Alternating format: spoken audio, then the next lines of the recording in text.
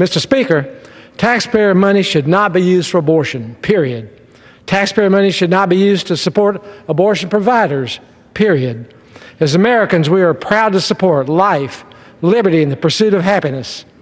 Yet last fiscal year, $554 million of taxpayer money went to support Planned Parenthood, which is in the same year was responsible for the deaths of 323,999 innocent babies, even dismembering and selling baby parts. These lost children are a deep scar on our nation.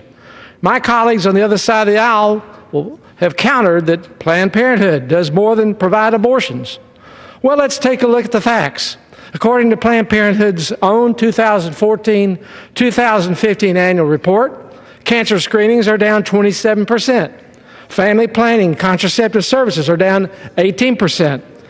STD prevention and treatments are down 6%.